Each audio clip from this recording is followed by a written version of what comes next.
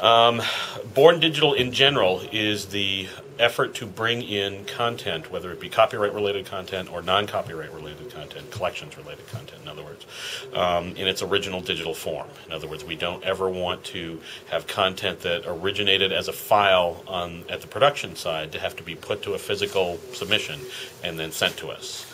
Um, and so the Born Digital system is the effort to develop the workflows to allow that to happen in an automated fashion and to allow those files to be brought into the deep archive with all the metadata and cataloging they need to make everything work as it should. Um, there are three pillars to live capture. This is one of the three To pillars. Born Digital. I'm sorry, to Born Digital. Live capture is one of them. Um, Born Digital is uh, a system, as a system, is in the R1, which you'll see in a second. Uh, the two other pillars are live capture, which is the room we're in right now, and then physical media. And the most involved challenge has been how to, um, you know, not necessarily how to get the data connections here. That's actually pretty straightforward. But what to do with the information once it's here on local uh, on local servers.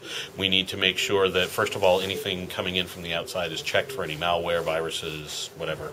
Uh, we need to make sure that the content itself uh, arrived in a usable condition. In other words, do an essence check.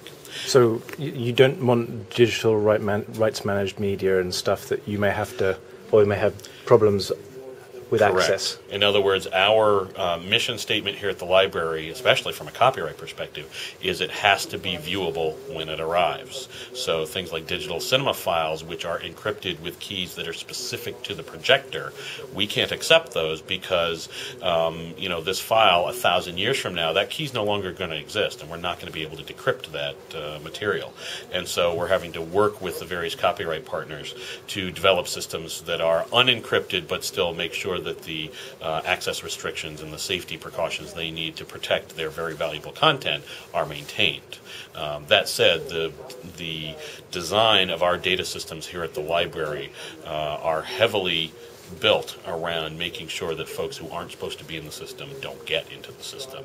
Uh, and there are both physical and electronic uh, hurdles to get past to be able to be here. In other words, we have some air gaps where if you don't have a cable going between point A and point B, there's no way that you can see certain things in the outside world. Thanks. That's intentional.